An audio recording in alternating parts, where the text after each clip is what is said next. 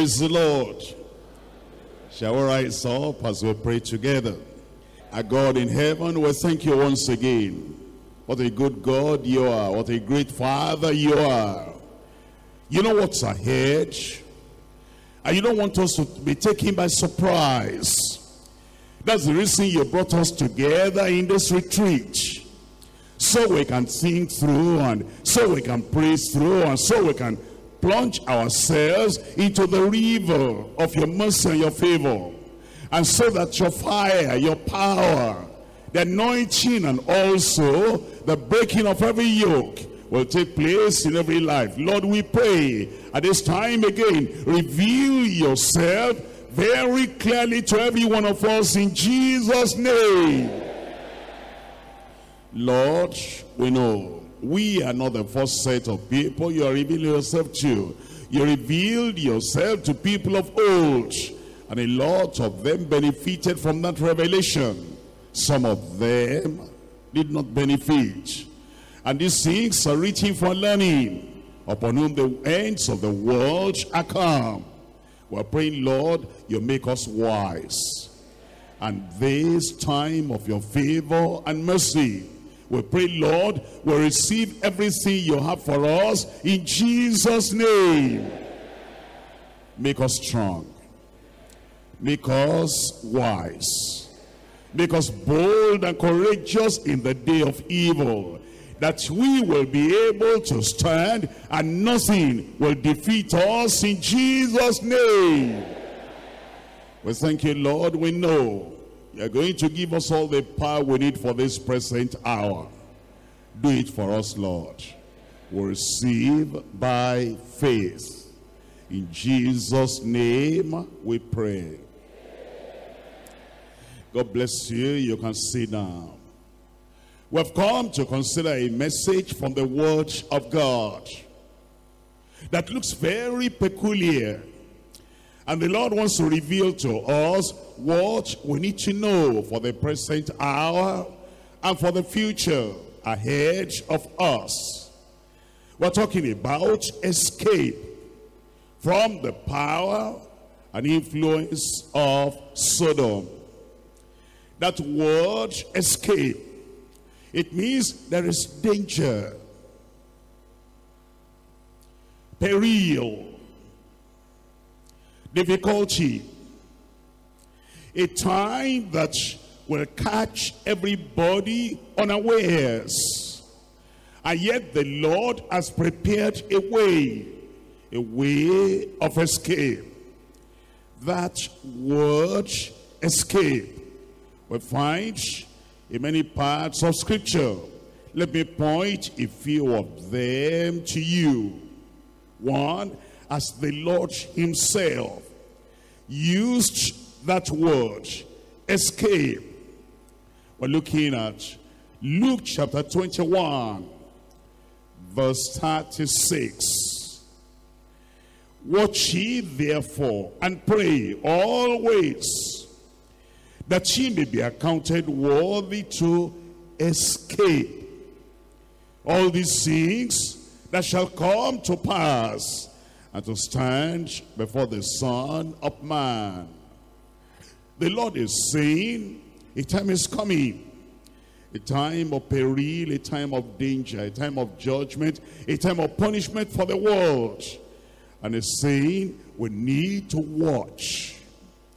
And we need to pray so that we will be accounted worthy to escape what's coming upon the people of the world.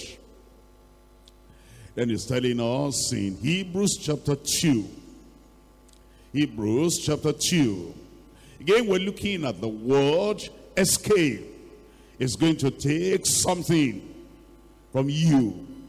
It's going to demand something from you so that you will escape and you'll not be caught in the trial, tribulation, and in the trouble coming upon the people of the world. Because it will come upon them unprepared, come upon them unawares. But the Lord is saying, we will escape. We're going to escape in Jesus' name.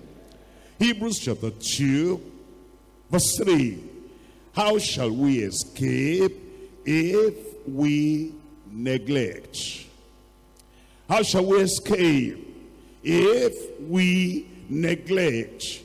Sending messages to us through his servants, many of us, through his prophets, many of us, and through his appointed, anointed preachers, many of us. And then he's saying, how shall we escape if we neglect so great salvation, which at the first began to be spoken by the Lord, and was confirmed unto us by them that heard him. First generation believers are always very vigilant, they're watchful. Those who just came to the gospel at the first time, at the beginning of the church, the early church, always watchful. But the people that come second generation, third generation, first generation, they are mostly careless. When you think about the church, the early church, the church of the Acts of the Apostles, you find that devotion to the word. And you find that devotion to all the instructions, the commandments of the Lord, taking heed. But after you come, second generation and third generation and the fourth generation, then religion takes over from righteousness. And then the people are no more careful, are no more watchful, are no more serious about preparation for the coming of the Lord. That's what you find here. The people at the time that Paul wrote to the Hebrews, this is not the first generation. You have now second generation, third generation. And he's saying, how shall we escape? So great, if we neglect so great salvation, which at the first, that is the first generation of Christians, they heard it, they knew it, they embraced it. At the first began to be spoken by the Lord, and it was confirmed unto us by them. This is another generation now. By them that heard him. God also bearing witness, both with signs and wonders and diverse miracles, and gifts of the Holy Ghost, according to his own will. I'm sure you know that many of us who are here now at the retreat, you are not the first generation of believers in our church, Deeper Life. You came much later. And the vigilance of the early days, maybe you don't have. The watchfulness of the early days, maybe you don't have. The passion of the early days, maybe you don't have. And the seriousness of taking heed to the word of God, maybe you don't have. That's why the Lord is saying, second generation believers, third generation believers, fourth generation believers, understand we are nearer the end than at the beginning. And so he says, how will you escape if you neglect so great salvation? We're not going to neglect. I said we're not going to neglect. That has come, you understand, the Lord is preparing you and preparing us all together for the coming of the Lord so that we will escape what is coming upon this world. We're talking about escaping from the power of Sodom. The influence of Sodom. And let's look at the reason we're saying that. We're now back in Genesis chapter 13, verse 13. Genesis chapter 13, verse 13. But the men of Sodom were wicked and sinners before the Lord exceedingly. Talking about Sodom, the power of the sinful world, the authority of the sinful world, the influence of the sinful world. the men of Sodom were wicked. Not only wicked, they were sinners in the sight of the Lord. And it says, exceedingly. And the Lord is telling us that we're living in the world, and the world in which we live in is like Sodom, sinful, wicked. And you know there's a word that came out of that name of the city, Sodom, Sodomites. Sodomites, those are men with men messing up together. A lady and another lady messing up together. It started in Sodom. And if you have been listening to what is going on in the world in which we live today, sodomy, sodomites are even now appearing. They're not just sneaking into some churches. They're now even asking for ordination to become preachers and ministers. And in some countries right now, you will be penalized by the government if you spoke directly against sodomites. Men and men getting married together, adopting children, and saying that they are married and they want you to recognize the marriage. The marriage of a man and another man. The marriage of a woman another, and another woman. They want you to give that public recognition. Not only that, they want you to be able to also give them employment. No discrimination. They have a right. We have these last days coming upon us. And it's telling us that we need to escape the power and the influence of Sodom. Let's look at Jeremiah. You're not going away from Genesis. And then you see that the influence and the power, the corruption, and the evil and the sinfulness of Sodom even continued beyond the time of Genesis. We're looking at Jeremiah chapter 23. Jeremiah chapter 23, we're looking at verse 14. I have seen also in the prophets of Jerusalem an horrible sin. They commit adultery. Prophets, preachers, so-called servants of God, and they walk in lies, destroying them also the hands of evildoers, that none does return from his wickedness. They are all of them unto me. Tell me the next thing there. As Sodom and the inhabitants thereof as Gomorrah. It's talking about the prophets, the preachers, the priests, the ministers in the church. And he's saying, they are unto me like Sodom and like Gomorrah. What do they do? They strengthen the hands of evil doers. The influence of Sodom. The influence of Gomorrah. And it's saying the people that sin and the people that do evil instead of the prophets of God rising up and condemning the sin and then speaking with a fiery voice and message against evil.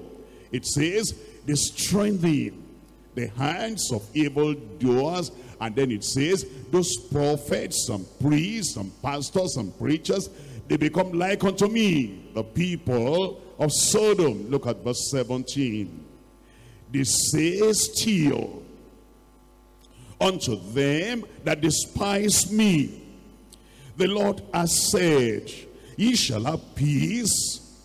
And they say unto every one that walketh after the imagination of his own heart, no evil shall come upon you. That's the influence of Sodom. And we're praying that this church, Deeper Life Bible Church, in every country, in Africa, in Europe, in America, Latin America, Asia, everywhere, we as a church together will escape the power and influence of Sodom in Jesus' name. I told you that because we're second, third, fourth, perhaps, generation of believers, the kind of attitude we had against sin, against evil, against wickedness, against corruption in the earlier days, we're praying as a church.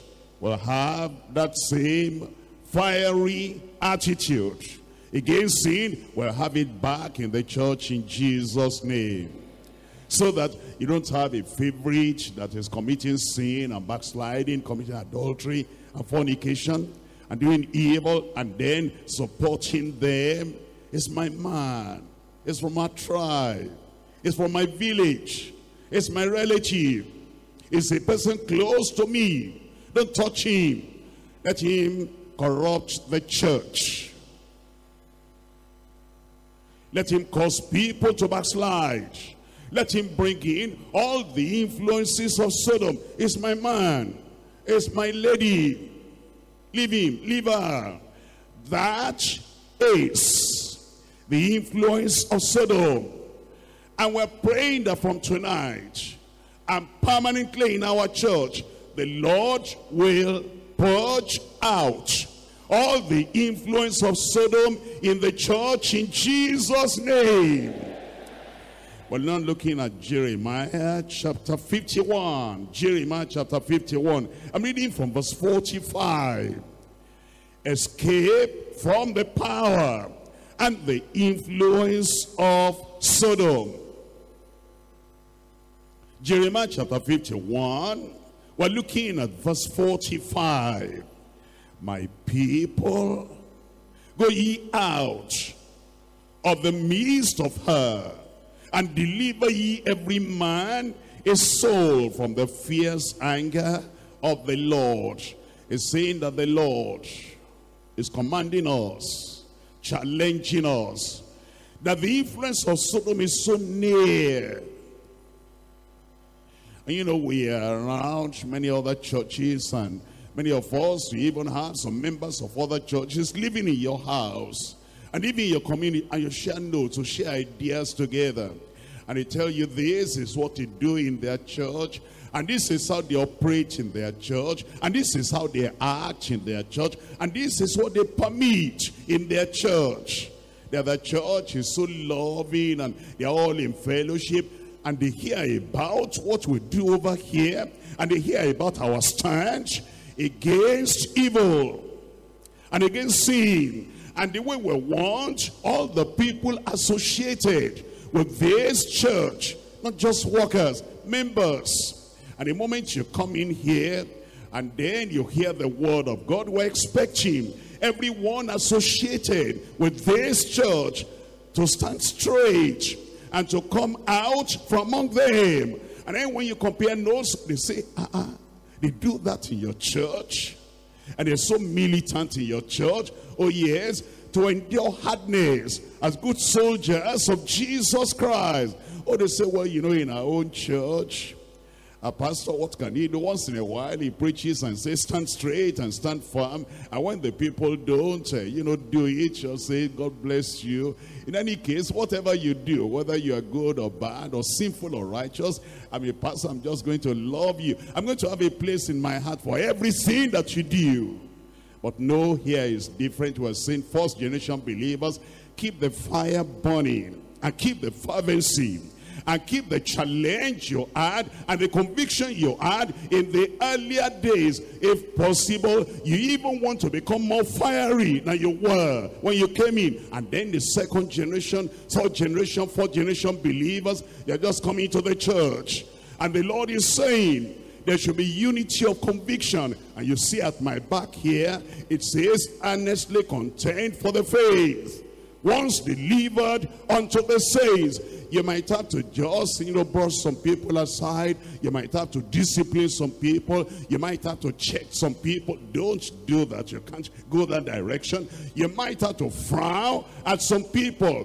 Whatever we have to do to make sure that this church does not get infiltrated, influenced by the power and attitude of Sodom. We're going to do it in Jesus' name. And I'm sure, I'm sure, I'm sure you're going to be in agreement with the leadership of the church in Jesus' name. You know, that's what is keeping this church from the influence of Sodom. Our state overseers, as fiery as the general superintendent, our region overseers, as uncompromising as the general superintendent, our group coordinators here at the headquarters, and our coordinators over here, our leaders over here, our sectional leaders over here, as firm and as fierce and as fervent and as focused as the general superintendent. And I pray that that firmness and focus will remain forever with us in this church in Jesus' name. And of course, I'm sure you know coordinators who are here, group coordinators who are here. I'm sure you are not waiting for me anymore. Gone are the days when somebody commits sin and somebody does something that is not all right and we say we're waiting for the pastor. You're not waiting for the pastor anymore. What you know i would have done. Do it. In your district in your group something takes place that the influence of Sodom is coming into your local church and that the corruption of the world is coming into your local church. You are a coordinator there, you are the pastor there. And you are the group coordinator, you are the pastor there. And you see that if the general superintendent were here, he will not allow this. Then deal with it. Don't wait for me. Don't say, I'm going to wait when the GS comes back from his trip. Then he will handle this. No, I've transferred the authority to your hand. Handle that. And the coordinator is a pastor of that church. And you are over every section of the church. The men, the women, the youths, the children, the choir, the orchestra, the ushers, the security in that local church. They are under the leadership of the pastor in that church. And if anything goes wrong, and the influence of Sodom is trying to come into that local church from any direction, don't say, if it were GS, this is what you will do. I've shown you the example. What I would have done. That's what you do. Even if you have to make some group of people sit back and sit down and say, hey, come on. This is Sodom. This is the influence of the world coming in here. And if the GS were here, this is what you will do. Do it and you have my support and back it. We're together. I said we're together. It's going to be like that in Jesus' name. The same thing with our region overseers, state overseers, and national overseers. I will be telling you, you know, what I do over here when I see that the influence of Sodom is coming in. I take it over myself. And I say, no, this is the way, walk ye therein. And God will help every one of us to stand by that word in Jesus' name. Are we together? I said, are we together? Of course, of course, of course. We have to be together because we're on our way to heaven. And that place, heaven, we're going to get there in Jesus' name. Revelation chapter 11. Revelation chapter 11. I'm looking at verse 8. Revelation chapter 11. We're looking at verse 8. And their dead bodies shall lie in the street of the great city, which spiritually is called Sodom and Egypt, where also our Lord was crucified. You know, he was crucified in, in Jerusalem, but now even Jerusalem became like Sodom. And then we're told the revelation here that even to, the, to that time, that you find this city just like Sodom. If that could happen, we're coming from Genesis. And the influence and the power of Sodom began in Genesis. It went on to the time of Jeremiah, went on to the New Testament, and went on unto the time of the Revelation. That's why the Lord is telling us that we need to find out if the power, the sinfulness, the attitude, the corruption of Sodom is coming into the church. This day is going to be purged out of our church in Jesus' name. Escape from the power and escape from the influence of Sodom. I'm going to talk on three points. Number one, the description of the sinfulness of Sodom. The description of the sinfulness of Sodom. Number two, the danger of saints in Sodom and Sodom in saints the danger of saints in Sodom and Sodom in saints. Number three, the deliverance of saints from Sodom. Number one, the description of the sinfulness of Sodom. We're looking at Genesis chapter 13 again. Genesis chapter 13. Let's see the description of the word of God concerning Sodom. The description of the sinfulness of Sodom. Genesis 13, reading from verse 10. And Lot lifted up his eyes and beheld all the plain of Jordan, that it was well watered everywhere before the Lord destroyed Sodom and Gomorrah even as the garden of the of the Lord, like the land of Egypt, as thou comest unto Zoar. Then Lot chose him all the plain of Jordan. And Lot journeyed east. And they separated themselves, one, the one from the other. Abraham, Abraham dwelt in the land of Canaan, and Lot dwelt in the cities of the plain, and pitched his tent toward Sodom. He didn't go to Sodom immediately. He just pitched his near Separate him from the man of God, from the friend of God, from Abraham. And then he pitched his tent near Sodom. And then it says, but the men of Sodom were wicked and sinners before the Lord exceedingly. Let's look at chapter 18. I'm reading from verse 20. Genesis chapter 18 verse 20. We're told, and the Lord said, because the cry of Sodom and Gomorrah is great, and because their sin is very grievous.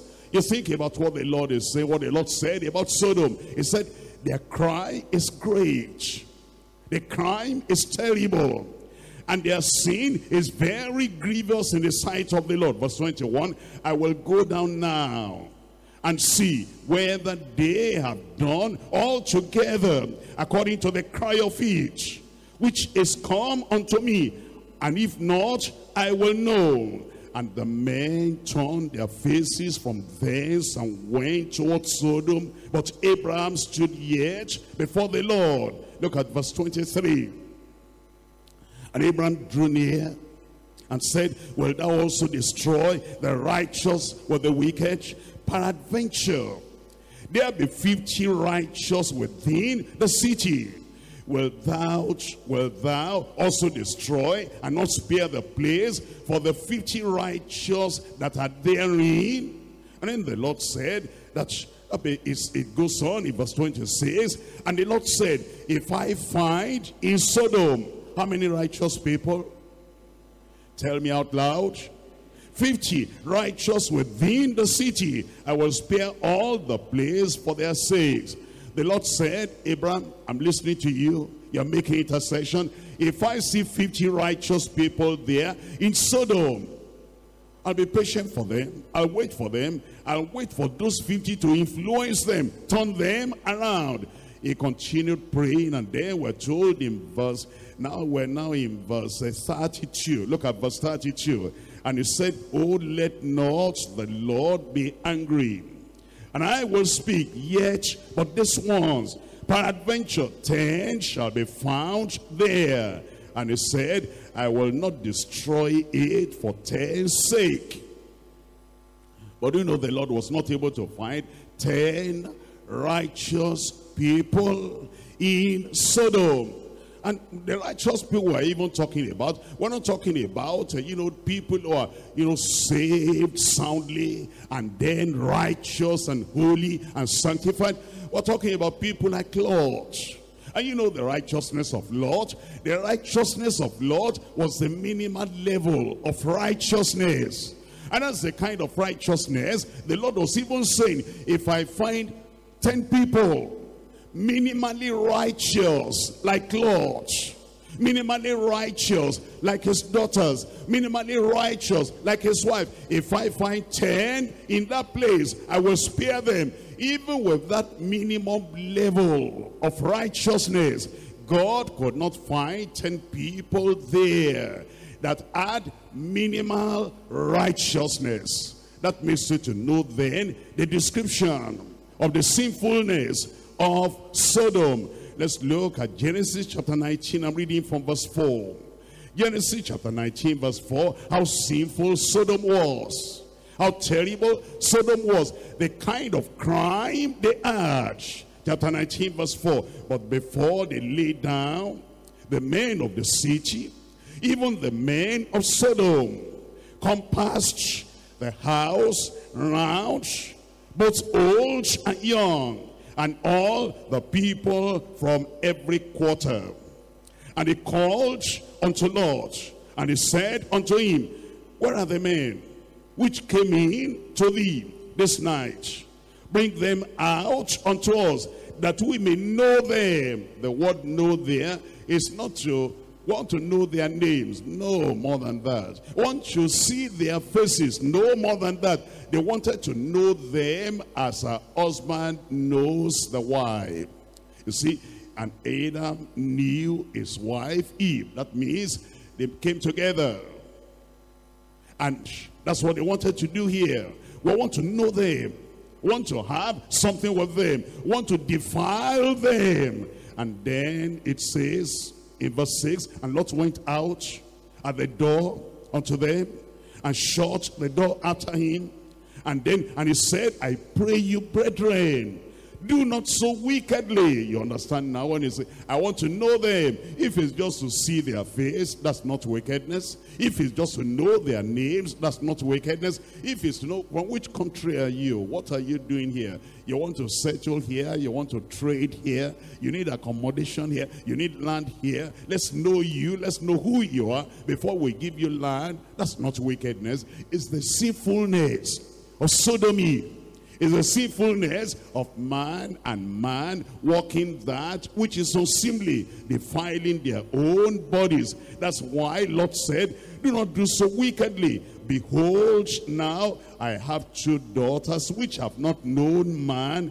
Let me, I pray you, bring them out unto you, and you do unto them as it is good in your eyes. Only unto these men do nothing you know what they were asking for then? They wanted to have immorality. And he said, okay, if you want immorality, look at the man who was saying is righteous. Look at this man, he says, well, it's a, number one sin is too terrible. But number two sin can be is less. Uh, sodomy is terrible. But my daughters are here. They don't know any man. Can I give them to you? That's a smaller sin. That's a lighter sin that's the righteous man we're talking about here.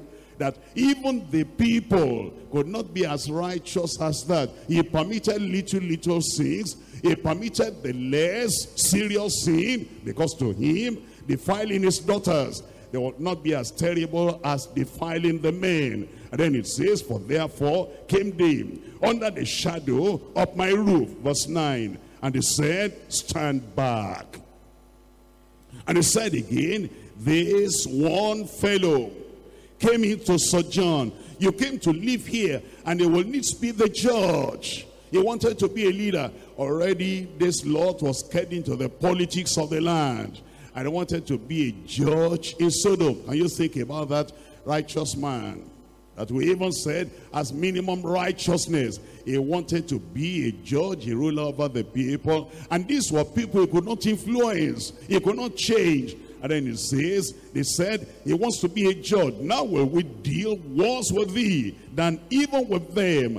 And the press saw upon the man, even Lot, and came near to break the door. Look at this, but the men, that means the angels, put forth their hand and pulled Lot into the house to them and shut the door. And they smote the men that were at the door of the house with blindness. The angels performed great miracle and made all those men of Sodom blind. But look at it, after that blindness, was small and great, so that they wearied themselves to find the door. After they were stricken blind, they still wanted to commit the sin seriously. And they were looking for the door. Where is the door? Where is the door? They knew that they were blind.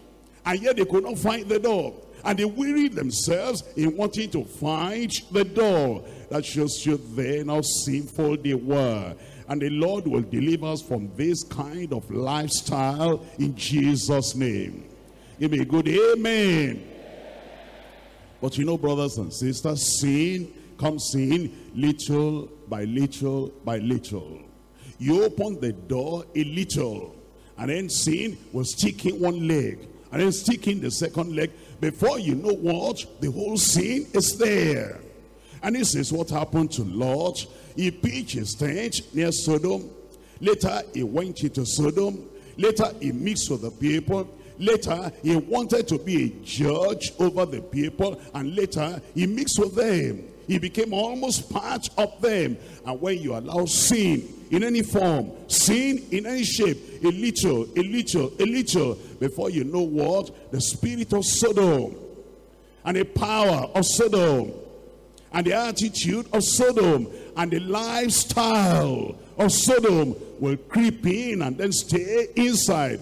I pray that God from tonight will purge this church from the influence of Sodom in Jesus' name. Let's look at First Kings chapter 14 verse 24. First Kings chapter 14.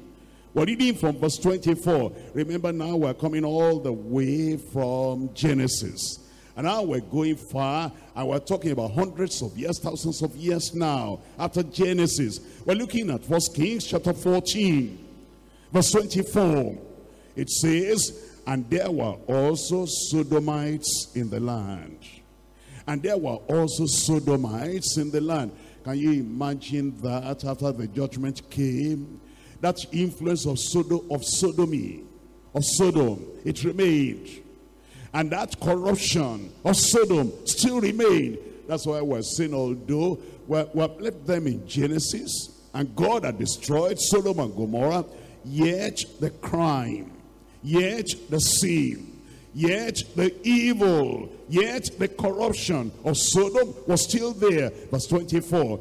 And, and there were also Sodomites in the land. And they did according to all the abominations of the nations which the Lord cast out before the children of Israel. You see, way, way off, way, far away in First Kings, it was still there. We're looking at Isaiah chapter 1. Isaiah chapter 1. That attitude of Sodom remained in the land of Israel. The influence was terrible of Sodom. Isaiah chapter 1, I'm reading from verse 2.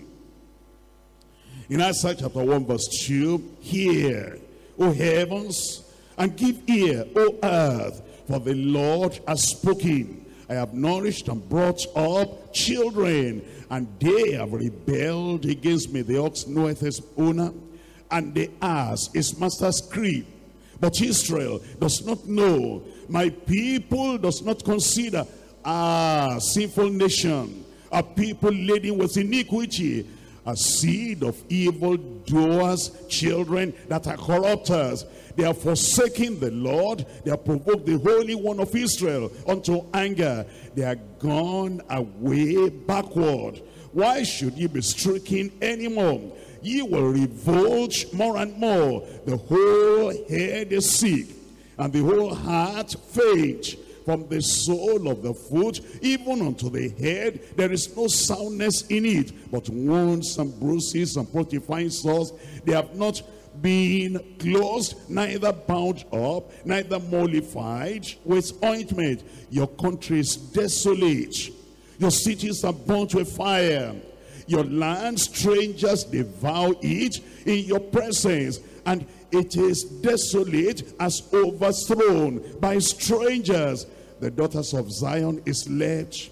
The daughter of Zion is left as a cottage in a vineyard and as a lodge in a garden of cucumbers and as a besieged city except the Lord of hosts had left unto us a very small remnant we should have been as as what? Tell me out loud. As Sodom and we should have been like unto Gomorrah. You see what uh, the Lord is warning us of brothers and sisters would you look up a moment?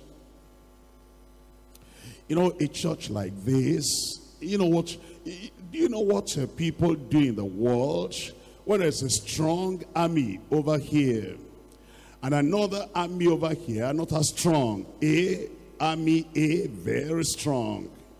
Army b very weak. But the weak wants to swallow up the strong.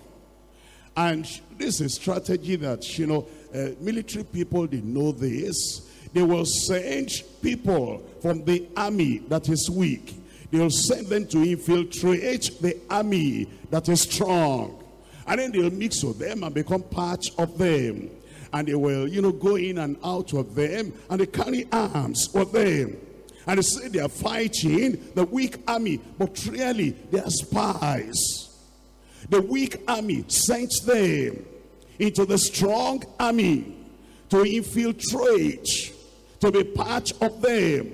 And then they'll be telling the secret of the strong army. They'll be telling it to the weak army. They'll say, this is the plan, this is the goal, this is what they're doing, this is their strength, this is what their leader is doing. Then the weak army, they, they don't have the, the strength to fight. They'll be insinuating, influencing their members that they sent into the strong army.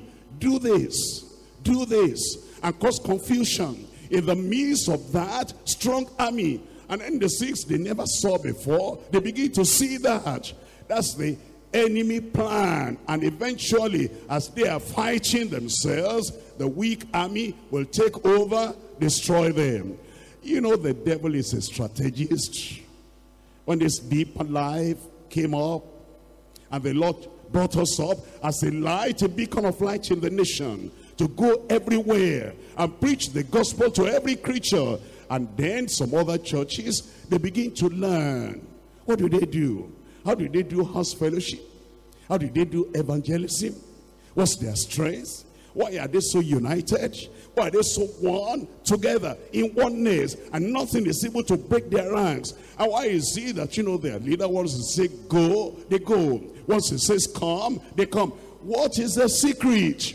and they want to be larger than deeper life, stronger than deeper life. They want to swallow up deeper life. You know what they have done? Just like the army A and B that I told you about, go into their midst. Number one, go and get married to their ladies and get married to their men. And whatever condition they give you, just accept. If they say, if you're going to marry us, you must come into our church. Just say, yes, I will come. After the marriage, then, you know, you will not show your true color and say, hey, come on. This is not my church. I just got married to you. I'm going back to my church. If you want the marriage to remain, come on, follow me. That's one area. Another area is that everything we're planning, everything we're doing, before we even finish tonight, they know it in that other church. How do they know that? How did they see all this?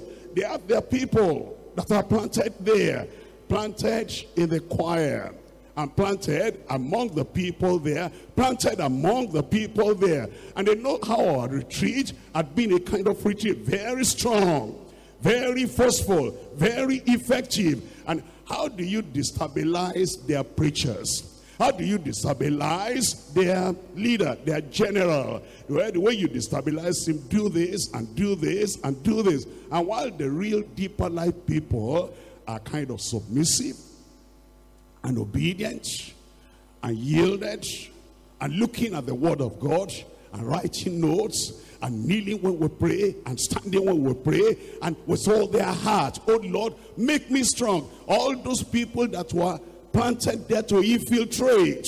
They're doing all their gimmicks and everything, and then they're causing confusion. And you are thinking that they are our members, and it is to bring Sodom into the church. I was saying we're going to purge out all the Sodomites in Jesus' name.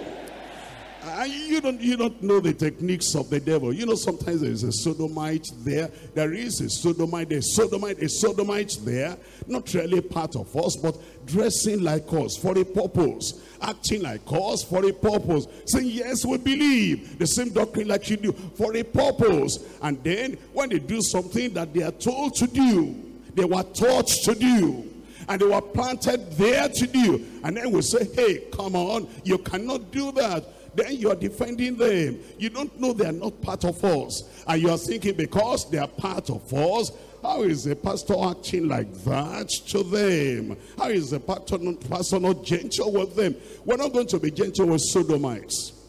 I said we're not going to be gentle with sodomites. We'll make this place so hot for sodomites. And before we detect them, they will run away by themselves in Jesus' name. But here is where you need to be wise. If you claim to be a member of this church, if you're a real bona fide member, and you got saved by our ministry, me and other preachers are preaching to you. If you're part of us, if you're a real son, a real daughter, when we're correcting all those things and the sodomites are trying to kind of bring up their own attitude, you are the one to stand by your pastor. You are the one to stand by your general superintendent and say, all those people who are planted there to destroy the foundation of this church, we're going to get rid of them together. You will agree with me, I will agree with you. If you're a real daughter of mine, who taught you to fight me? If you're a real son of mine, who taught you to fight me? What are you fighting about? Did I offend you? Isn't the same way I've been preaching since 1973. I'm still preaching today. What offends you? What offends you is because all those sodomites, they have gotten so near to you and so friendly with you. And anytime we try to preach and purge them out, then you are defending them. Now today, you're not going to defend any sodomite anymore. Me, your father in the Lord, if you're going to defend anybody at all, who are you to defend? Of course, it's your pastor. Your pastor, your general superintendent. And anybody telling you, how did he talk like that? Say, what do you mean? Shut up. Our children are taught to respect their fathers. And if you are going to say anything, you respect your father in the Lord when he rebukes you, when he chastises, when he corrects, when he's trying to purge out, all those sodomites will be united one together, honestly contending for the faith. Once delivered unto the saints, we're going to do it in Jesus' name. Even when the correction affects you, because unknowingly to you, you have already imbibed the influence of Sodom, and then while we're purging them, we're cleansing you. And that cleansing will go all around everybody in Jesus' name. The men and the women, the boys and the girls, every member of this church, apart from all those spies, all those spies, they will go away in Jesus' name. And after they are gone, don't worry about them when they go. So the pastor see, see our retreat. I want to increase. I want to bring people in. And the preaching of our pastor drove so and so away. Let them go. Those are the sodomites. They don't want to change. And they go like that. Say, praise the Lord. The place was too far for them. They could not stay. They will not stay in our midst in Jesus' name. We're looking at Ezekiel, Ezekiel chapter 16. Ezekiel chapter 16. All these sodomites, they came into the midst of the people of Israel. They corrupted Israel. They influenced Israel. And they brought Israel, the whole nation, under judgment and the influence of Sodom that is coming into this church The Lord is going to drive them out of this church in Jesus' name. I, I don't remember the time we ever argued with one another in the 70s and the 80s. When I say stand, we stand. When I say sit, we sit. When I say go, we go. When I say come, we come. When I say evangelize, we evangelize. When I say we're not singing now, all we're doing this, what we're doing, we just do it. We're all united. It's only in recent years as all these uh, people infiltrated that we're having arguments. We're having kind of division. And somebody is saying, he said that, I don't agree. Those are the strangers. I pray God will send them away from here. Ezekiel chapter 16, I'm reading from verse 46. Ezekiel chapter 16, we're looking at verse 46. It says, Thine elder sister is Samaria, and she and her daughters that dwell at thy left hand, and thy younger sister that dwelleth at thy right hand is who? Sodom and has and, daughters. See, the Lord was talking to Israel here. He said it in Genesis, he said it in the Kings, he said it in Isaiah, he said it now again in Ezekiel. And he says, Your younger sister is Sodom.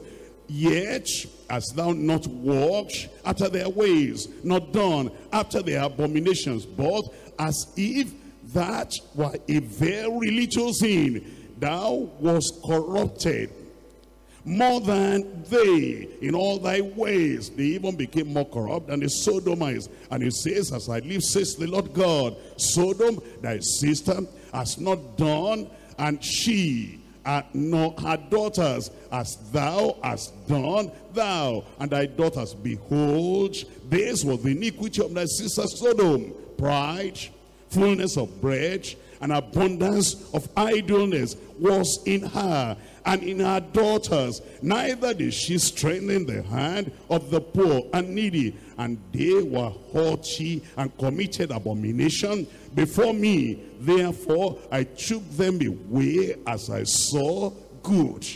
That's the description of the sinfulness of Sodom. And the Lord is telling us to escape all that influence of Sodom from our midst. From tonight, you will escape. I said, you will escape and all the corrupting influence of Sodom in our midst, the Lord will cleanse and purge and take away in Jesus' name. All the unbelievers, carnal people, unconverted people that have joined the workforce, joined our ushers, and joined the security, and joined the choir, all those unconverted people the Lord will spot them out. Purge them out. So that when they, they will have a clean, pure, united choir. A clean, pure, united ushers. The people that have the mind to serve the Lord. And then the service of the people of God. So pure, without any stain. And without any influence or sodomites will be given unto us. And then this church will go to the very height of revival in Jesus' name.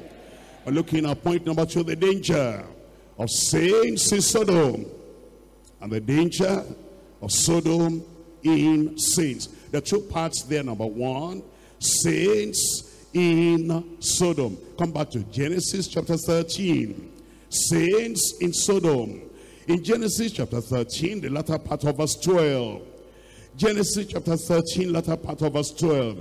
And pitched his tent towards Sodom. Verse 13, but the men of Sodom were wicked and sinners before the Lord exceedingly. That's uh, a saint getting into Sodom. Chapter 19, verse 1. Chapter 19, we're reading from verse 1. And there came two angels to Sodom at evening, and Lot sat in the gate of Sodom, nearer now than he was before, says coming into Sodom, then looking at their lives, seeing their music, seeing their attitude, seeing their food, seeing their dressing, and seeing their comportment, and seeing their character, and seeing their lifestyle. He was now sitting at the gate. Verse 9, it says, they said, stand back. And he said again, this one fellow came in to sojourn. And he will needs be a judge. In our words, even to be a political leader. In Sodom, says, getting into Sodom. We're looking at Second Peter chapter 2. In Second Peter chapter 2, I'm reading there from verse 6. Second Peter chapter 2, verse 6. And turning the cities of Sodom and Gomorrah into ashes, condemned them with an overthrow, making them an example unto those that after should live ungodly and deliver just Lot, vexed with the filthy conversation of the wicked. It's talking about Lot, a saint in Sodom, that he was troubled, but he never left. He remained there. He was unhappy. He never left. He remained there. Even when the armies came, he confesses he came and then took him away and took his wife away and took everybody away. Abraham went and defeated those enemies and delivered Lot. And Lot did not wake up to say, what am I doing here? Why am I in the midst of Sodom? See what has happened to me. He went, thank you, Abraham, for helping me and getting me out of that captivity of those people that took me captive. And thank you very much. Bye-bye. And he went back to that same Sodom. There was something in him that will not leave Sodom. Uh, is there not something that is happening here today? There are people that love the Lord, they love the Bible, they love this retreat, and they love every good thing going on here. And yet there is somebody having a negative influence on your life. And the fellow is, you know, all the time we preach the word of God, we'll go back there and say, well, do you accept everything? Are you going to just sit down like that? Are you going to accept all those things they are saying? The influence of Sodom around you. And even though it's a trouble to you, even though it traumatizes you, even though you are saying, why am I so hooked up with this person? Why am I so near this person? And yet you cannot leave. Saints in Sodom. I pray God will deliver us today in Jesus' name. And then it says in verse 8, For that righteous man dwelling among them in seeing and hearing, vexed his righteous soul from day to day with their unlawful deeds. He was troubled in his heart.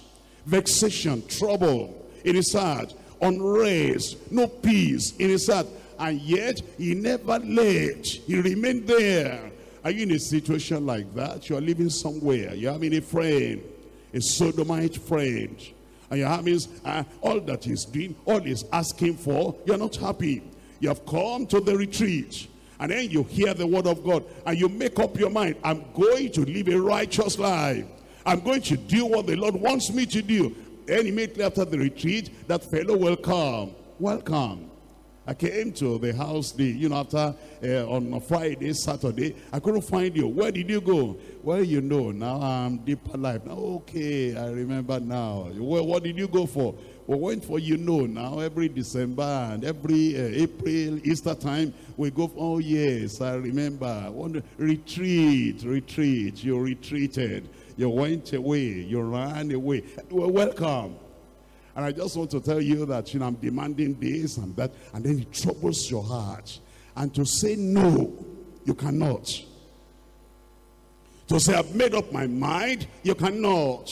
And to say, I'm on my way to heaven now, no more compromise and no more sin, you cannot. Your soul is vexed.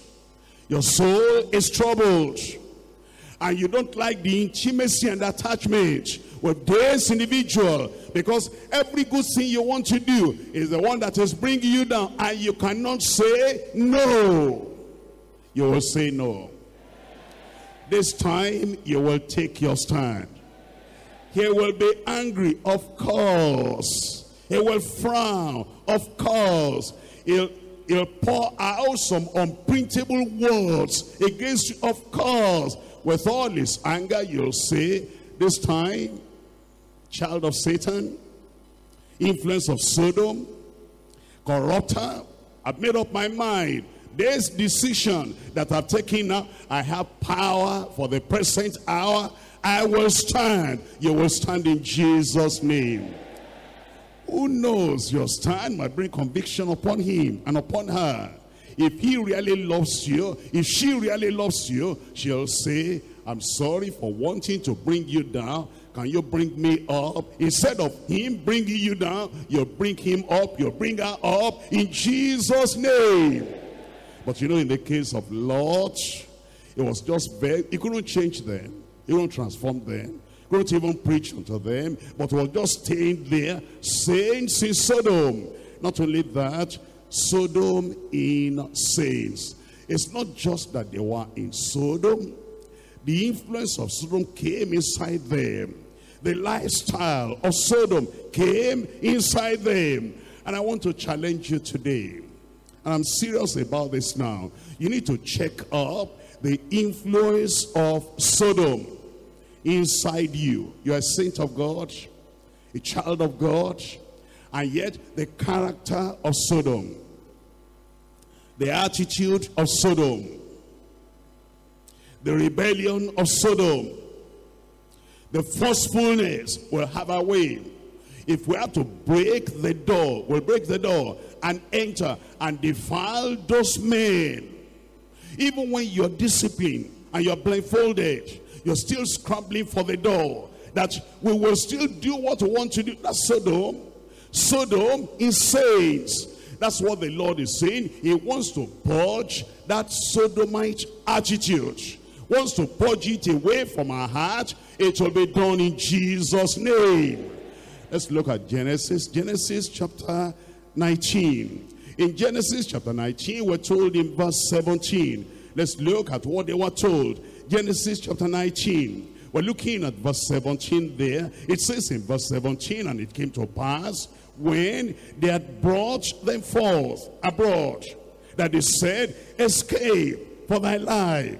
Look not behind thee, neither stay thou in all the plain. Escape to the mountain, lest thou be consumed. Look not behind thee. Verse 26. And his wife looked back from behind him.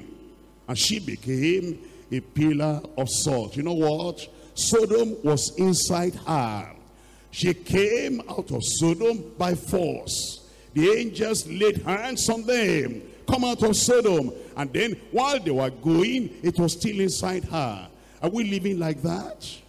All the fashion of Sodom, all the friends in Sodom, all the influence of Sodom, all the parties of Sodom, all the entertainment of Sodom, all the dancing in Sodom. Are we living everything like that? Where are we going? Who are the people living? Are we living the known for the unknown? Where are we going? And then she looked back and became a pillar of salt because Sodom was inside her. Look at verse 30. And Lot went up out of Zoar and dwelt in the mountain, and his two daughters with him. For he feared to dwell in Zoar, and he dwelt in a cave, he and his two daughters. And the firstborn said unto the younger, Our father is old, and there is not a man in the earth to come in unto us after the manner of all the earth. Hey, wait. Not a man in all the earth. Daughters. Do you remember Abraham? Do you remember Isaac? Do you remember that Abraham, Isaac was not yet born, that Abraham had servants, 314. What are you saying? There is not a man in all the earth to come in unto us. The only men they knew, the only men they recognized were the men of Sodom. And all those men of Sodom, they have been burnt up. And you see, there was Sodom inside them. See, you see the Sodom inside them, verse 30 to come. Let us make our father drink wine. Where did they learn that? That's Sodom. Attitude of Sodom. Influence of Sodom. Sodom was inside them. They came out of Sodom. And yet, that attitude and that action and that lifestyle of Sodom was still inside. And we will live, we will lie with him. that we may preserve seed of our father. And they made their father drink wine that night. And the firstborn went in and lay with and lay with her father. And he perceived not when she lay down, nor when she arose. I thought, Lord, you said these daughters have never known any man. How did they know how to do this when you were unconscious? And then the first one became pregnant. The second one became pregnant. You know what?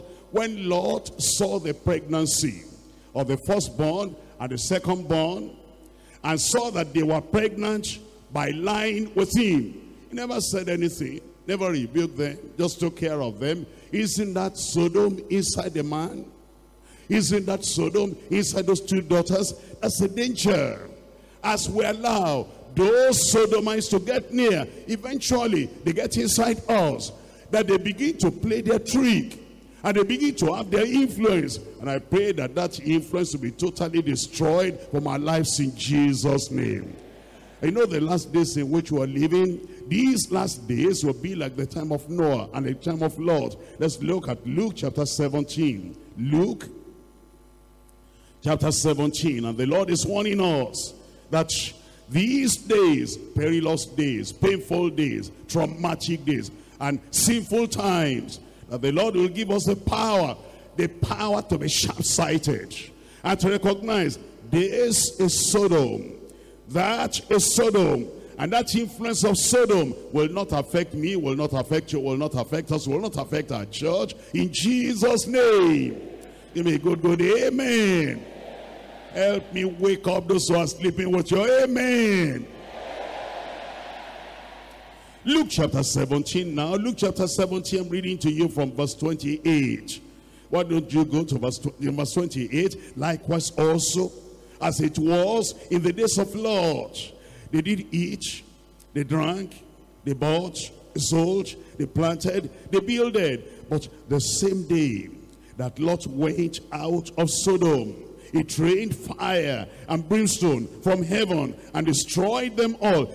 Even thus shall it be in the day when the Son of Man is revealed. Very near the time of the rapture, the time of the second coming, the world will be like Sodom. And we see it already. You see the corruption already. What happened in Sodom that is not happening in our country? What happened in Sodom that is not happening in uh, our continent Africa? What happened in Sodom that is not happening in the West? What happened in Sodom that is not happening all over the world today? The Lord is about to come. That's why the Lord is saying, if we're going to flee out of Sodom, this is the time. And we're going to flee out of Sodom. Sodom will not influence your life, will not influence your children, will not influence your family. Sodom will not influence your husband. Sodom will not influence any local church in Deeper Life. And Sodom will not influence this church as a whole denomination. The Lord will keep this church preserved from the power and the influence of Sodom until the very end in Jesus' name. Brothers and sisters, look up here. You know something? And we know it happens in a little family. In a little family, the wife is saying, now my husband, it's too much work. Scrubbing the ground, cleaning the ground, and then going to the market, and then cooking this and cooking that. You know, it's too much for me. Uh, can I have a maid? And then, you know, the husband says, we're happy together the way we are. You and I and our children. And this uh, uh, family has been very much preserved from the influence outside. And then the wife keeps on talking, you know, we need this, we need, okay, you know, go and get whoever you want. And eventually, that woman, the wife, will go and get a maid. And that maid, and I'm telling you, the maid very serviceable and is very dutiful and is very loyal and is very obedient and is very respectful, hardworking. But the only thing, she belongs to the other world.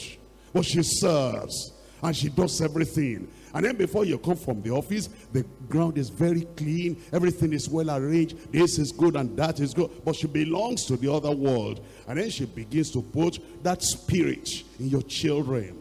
And then your children will say, Mommy, something happened. In the night today, myself and, you know, auntie so and so, we went somewhere. We ate something. They didn't cook it. We just ate it. And it's sweet. You say, what? What did you go?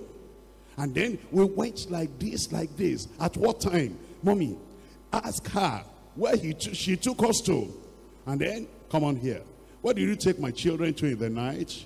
What did they say? What, where did they say I went? I don't know anything. And then all the children, they're totally influenced. And then the business of the father, that he is of the father of those children, already going down. And then husband and wife that never had argument before. They begin to argue. What is this? What is this? Ah, it's me you are talking to like that.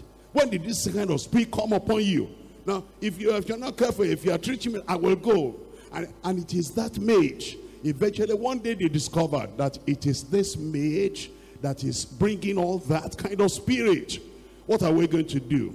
Well, we're going to drive her away. If we drive her away, how about all this service, all this labor, all these good goods? Can we ever find another lady, another maid like this that is so useful like this? And because of what that lady is doing in the family, we just leave the evil spirits there. It can happen to a church like that.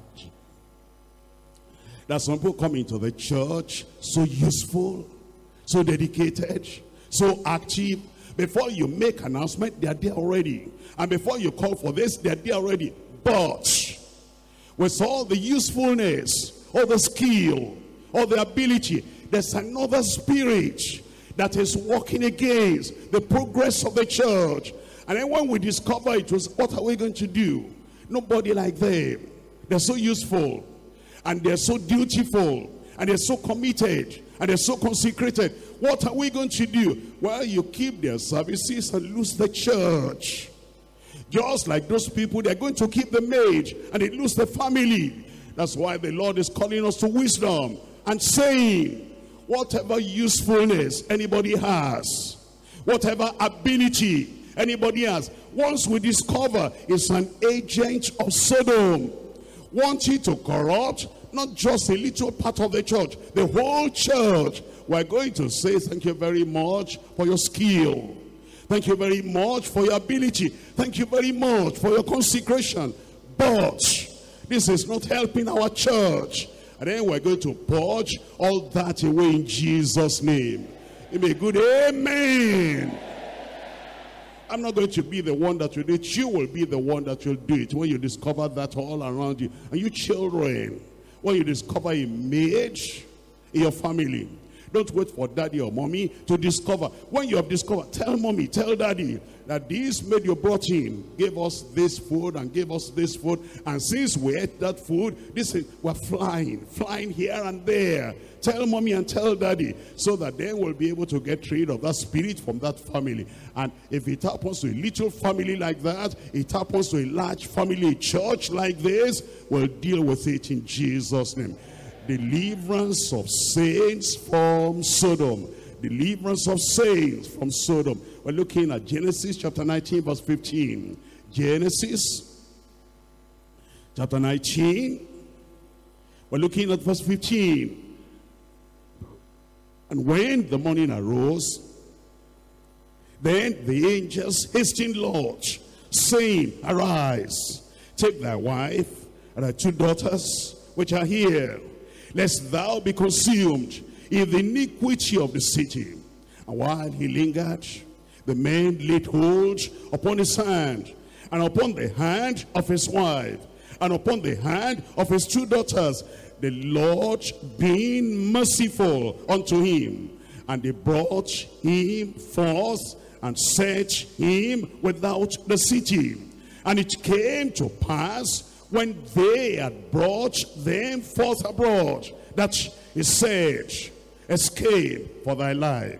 Look not behind thee, neither stay thou in all the plain. Escape to the mountain, lest thou be consumed with the iniquity of Sodom. That's what the Lord is telling us tonight. Escape.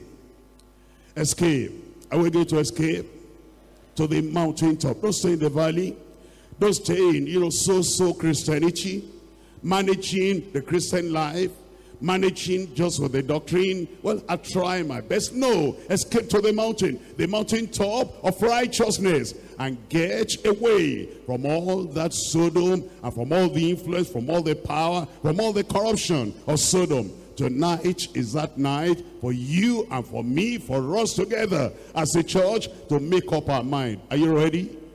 Why don't you rise up and tell the Lord, we're going to escape. Escape to the mountain. Don't stay in any other plain. Any friend you have who is a sodomite, any friend you have who has a corrupting influence upon your life, you're telling the Lord, you're saying, Lord, tonight I make up my mind. I come into the full salvation of the Lord. I said, stand up, let's stand up quickly, let's stand up quickly. Don't be a sodomite, don't be a stranger in the midst of the people of God. Let's stand up and open your mouth and talk to the Lord and say, Lord, here am I. I lay myself, everything I've got on the altar, and I'm going to come out of that influence of Sodom.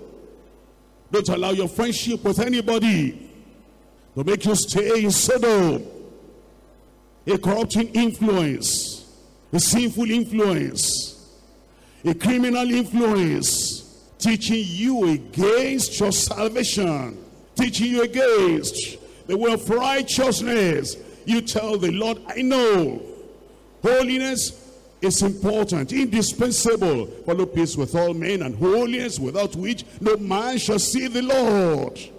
Anybody that will take that holiness away from you, a man a woman, a so-called friend, a stranger, a so-called member of the church, a spy, an infiltrator, a so-called worker that will take your fervency away and take your commitment away. And take your conviction away. And do it little by little, little by little, weakening your conviction, watering down your conviction, diluting your conviction, making you now to find fault with the word of God. Anyone, anybody, no matter how close, how near, that will make you to ridicule the word of God, to throw away the convictions that were built over many years. You can do without anybody apart from Jesus. Nobody on this earth should be so important to you that you'll take your salvation away, take your conviction away, take your very eternal life away, take heaven away from you. Then you say, you know, they're so nice and they're so good. And because they're so useful, so profitable, and they give us progress, and they are so wonderful, then they take eternal life away from you. How wise will that be? Escape! Escape for your life. And how shall we escape if we neglect so great salvation, which at first began to be spoken of by the Lord, and was confirmed unto us by them that heard him? Anybody speaking to you after tonight? and telling you don't mind them, that's the person you will not mind. That's a stranger. He has a strange spirit. She has a strange spirit. Anything, anyone that will bring us back to the beach where we came from will give up that sin, give up that individual. Come out of Sodom. Escape Escape. Don't allow the power of Sodom to pin you down. The influence of Sodom to tie you down. Get rid of it. Come out from among them and be ye separate, says the Lord. Then I will receive you, and ye shall be my sons and my